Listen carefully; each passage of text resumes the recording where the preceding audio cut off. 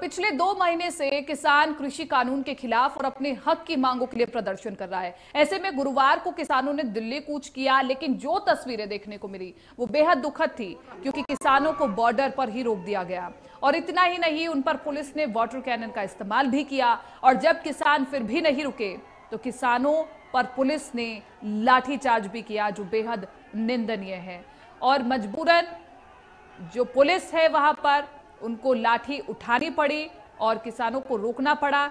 लेकिन दुख होता है तब जब ये किसान हमारा पेट भरते हैं और कई बार इनको, इनकी फ़सल का उचित मूल्य नहीं मिल पाता, खुद ये भूखे रहते हैं, हमारा पेट भरते हैं तो आज ये अपनी हक की आवाज़ उठा रहे हैं और आज इन पर लाठीचार्ज किया जा रहा है। देखिए तस्वीरें।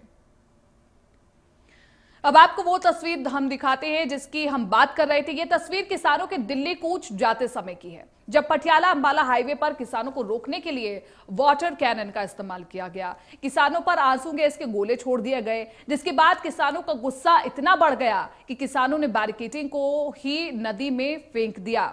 बिगड़ते हालात के बीच आरएएफ को बुलाया गया और एक्शन लिया गया। अब ये जो छह तस्वीरें आप देखिए, आप इनको समझिए कि जब किसान बैरिकेटिंग के पास आए तो वाटर कैनन का इस्तेमाल किया गया, आँसू गैस के गोले छोड़े गए और किसानों का पथराव भी देखने को मिला इसी के साथ साथ अगर पुलिस ने उन्हें रोकना चाहा तो किसानों ने भी मुंहतोड़ जवाब दिया है। बैरिकेटिंग तोड़ी गई किसानों की ओर से।